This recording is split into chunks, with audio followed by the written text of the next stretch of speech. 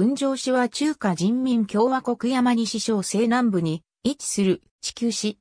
古くは加藤と呼ばれ、中華文明用ランチである中原の一部である。三国時代の食官の武将、関羽の出身地である。市内にある塩湖、海地では古くから塩の生産が行われている。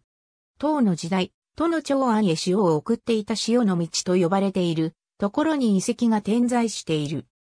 近年は塩湖の汚染のため食用塩の生産は行われず、工業塩の生産が行われている。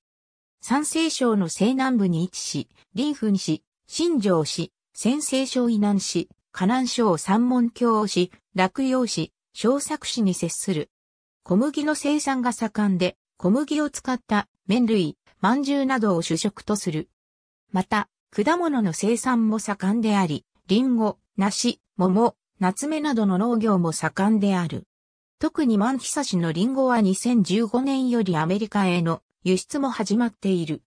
人口519万4592人、年間降水量 525mm、年平均気温摂氏13度。雲上での人類の活動は古く市内の条件風、両渡市鎮からは180万年前の人類の遺跡が出土している。また花夏文化の洋ランチとして、春の都城である保藩、宇の安遊、中国最初の王朝と言われる夏の都城も、雲上地域に設けられていた。春秋時代は進むに属し、前669年には、進むの健康により、皇が都の城に定められている。戦国時代に、進むが、藩、朝、義に分裂した後は、義の都の城が安遊に定められている。旗はじめ皇帝による中国統一がなされると、加藤軍が設置され、それ以来行政改変が幾度となく実施されたが、加藤の名称は中華人民共和国成立まで使用された。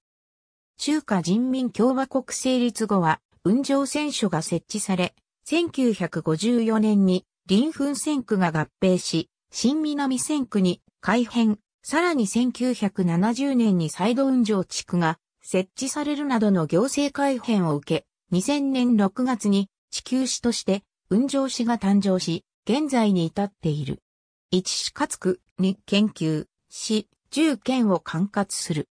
雲上、千空雲上地区雲上市空港鉄道道路。ありがとうございます。